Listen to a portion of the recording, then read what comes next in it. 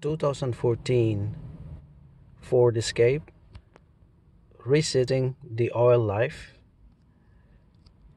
For this one we're gonna turn off the ignition and put the two feet on the gas pedal and the brake pedal. Press it turn the ignition on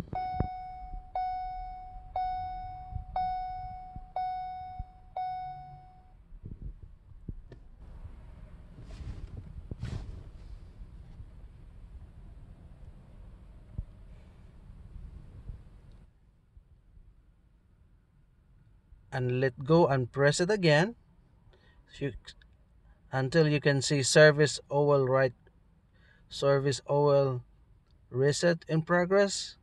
Don't let go on the gas and brake pedal until you can see service oil right life reset complete. All right that's pretty easy